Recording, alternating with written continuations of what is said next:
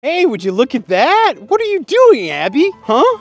Are you generating solar energy, girl? Good girl, look at that. Yeah, my dog is actually generating solar energy right now. So yeah, over the last month or so, I've been experimenting with designs and I have built a solar panel that mounts onto my dog. And that solar panel lets me collect solar energy from my dog while she's working here on my farm. And I don't just have solar panels on my livestock guardian dog, I'm also now using solar panels on my chickens and my cattle. And the really crazy part is the amount of solar energy I'm collecting on my farm could potentially power an electric car to drive 55 miles. 55 miles! I truly believe that an agrovoltaic application like this could potentially revolutionize the planet. And in this video, I actually want to show you guys how I'm doing it and how I think it can help everybody. So as longtime viewers of my YouTube channel are well aware, I am a huge fan of renewable energy and solar energy specifically. As it stands today, our farm's actually powered by the solar co-op that we belong to that's in my neighbor's field right next door. And for years, I've been dreaming of actually trying to find other ways to harness the power of my farm to not just produce good, healthy food, as well as be profitable, but I've also been looking for ways to help the planet. And as you look at Abby Dog's solar backpack right here, I think this thing fits the bill. So last year, I read this article about some sheep farmers in New Zealand who not only graze their sheep underneath solar panels, but they've also figured out a way to attach solar panels to their sheep. And since I'm the type of farmer who's been able to put cameras on every type of animal on my farm, I figured that trying to mount solar panels on my animals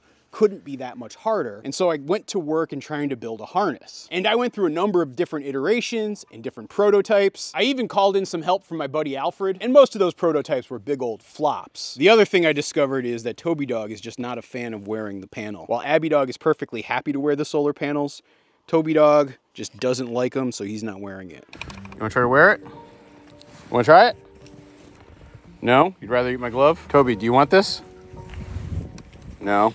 You're saying no? I understand, pal. I also tried to mount them on barn cats, but unfortunately, because barn cats spend so much of their time hiding in the dark in a barn, they just don't collect enough juice to make it worth the squeeze. But you're still adorable, Ginny. Yes, you are, sweetie. All right, guys, let's show them how this works on chickens. Come on, let's go. Hey, chickens! So yeah, just the other day, I actually completed the prototype for the chicken. I've been fine tuning it right now. And you can actually see this girl right here, this Rhode Island Red. She's got a little solar panel mounted right to her back. Pretty exciting actually. And it's been holding up. She's been wearing it for about three days now. It doesn't seem to bother her. At the same time that I collect her eggs, I actually collect the battery that's attached to that solar panel. And so I'm able to take that battery off of her and add it to my collective use of electricity. So yeah, so you can see my solar chicken and my solar dog right next to each other. Yes, you're doing really good, Abby. Yes, you are. Now you guys might be seeing that tiny little solar panel on the chicken, and you're probably saying, well, how much electricity can a little tiny solar panel like that on the back of a chicken actually generate in Vermont? And well, that one little solar panel on that chicken can actually generate about 60 watt hours in a given day this time of year. So that means it's enough electricity to power our Wi-Fi router for about six hours, or you could power a desk lamp for about 12 hours, or you could run a digital clock for about 30 hours. Whoa, hey. We have a goose fight. now you guys might be wondering, well, what about the ducks and geese? Can I use my ducks and geese for solar collection too? And the answer there is unfortunately no. Because both the ducks and geese are waterfowl, they like to spend a lot of time in the water, and that time spent in the water creates a lot of issues with both the battery as well as the solar panel and all the wiring. And so, much like it's not worth it to try to mount on the barn cats, it's also not worth it to try to mount the panels on a duck or a goose. And so this is really an experiment reserved for dogs, chickens, and cattle. And yes, I did say cattle because I have one more thing I want to show you. So this is our farm's bull, Macho Man Randy Savage, and for the last couple of weeks, he's been wearing a solar panel too. I actually got these solar panels that they manufacture in China and imported a bunch of them. I customized them a little bit by adding these grommets, which can then accept these bungee cords that I use as a harness. And this is how it stays mounted to them, and it's really durable. Like I was worried it was gonna flop right off, but those things stick on like glue, and it seems really comfortable. It doesn't seem to bother him. These solar panels are all weather, and what's even cooler is that there's a USB port, so I can actually use it to charge my phone. so now my phone battery's never gonna die when I'm out on pasture. So like I said, I've got a number of these. Now that I've finished the testing stage with Macho Man, I'll be trying them on other cattle, particularly Baby B and Ariel, who are the other cattle who let me brush them. But the real goal is to get all of my cattle wearing these, and then I start to generate a whole heck of a lot of power. How much power, you might ask? Well, please allow me to math it all out for you guys. So in terms of how much energy does this actually produce, I had to take you guys inside to break down the numbers. But here's the rundown of the energy production. Number one, you got to look at some assumptions. So specifically the surface area of the panels, plus the solar irradiance in terms of like how much sun's being produced. And that's going to change depending on where you are in the country. But I used an assumption of about a thousand uh, watts per square meter, which is kind of like the general average for us here in Vermont. Then on top of that, you got to figure out the efficiency of the solar panels. I went with an assumption of roughly 15%, which is a little bit conservative, but I wanted to be conservative with these numbers. When I look at the surface area for each of the animals,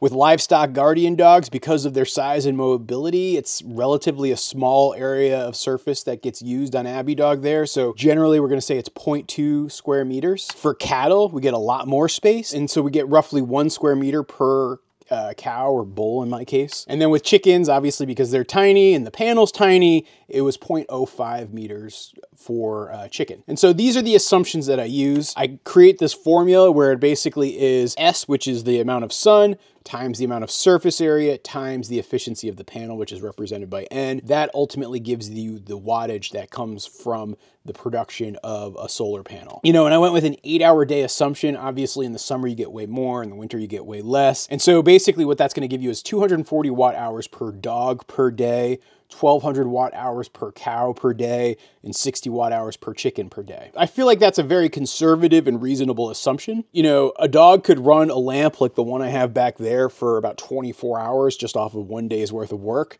a laptop for about six hours, a smartphone charger for about 48 hours. A cow could run a microwave oven for about an hour and a half, a refrigerator for about six hours, a television for a 12 hour period of time.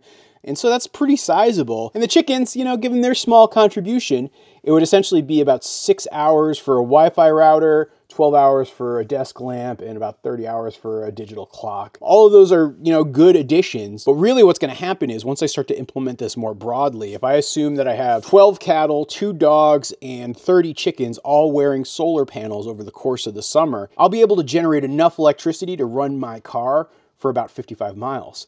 Now, I don't generally drive that much in a given day, and so what I'm actually going to start to do is sell that back to the electric company. And so what I do is I basically take the batteries that I collect the energy with, dump it into a power bank, and then transfer that back to the electric company. Once I've transferred that to the electric company, they then pay me for it. And so I actually see a lot of parallels to the way the the milk companies come to the local dairies around here and collect the milk. The electric companies essentially coming to the local farms to collect the solar power. Now you're probably hearing me say all of this and saying, gosh, Morgan, this seems very harebrained. How did you get the science expertise to do it all? And the truth of the matter is I have been working with a friend of mine, Dr. Sunil Dayton. He's actually the Yahoo Serious professor over at East Rhode Island State University, focused on agrovoltaics. And so as I've been doing all of this, I've been running around talking to him, running some ideas by him and getting his input.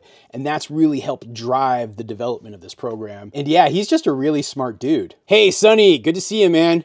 So do you mind explaining to people how important a program like this is? Harnessing solar energy from farm animals really showcases a creative and sustainable approach to renewable energy it's unconventional, yeah, but this method really shows you just how powerful it can be to double the impact. You know, cattle eat grass, which is one way you can do solar collection, but these panels are another way. And it really highlighting the critical role of ingenuity in solving our global energy challenges. So yeah, I'm really excited about the possibilities of this project. If you guys want to get involved and help, the best thing you can do is actually share this video on social media because what I want to do is get more people aware of this project. And I think if more and more folks start trying to put solar panels on their animals, I think we can really make a difference in this world. So thanks for watching, and I hope you guys are excited about this one as I am. Oh, I know Abby Dog is. Yeah. Good girl.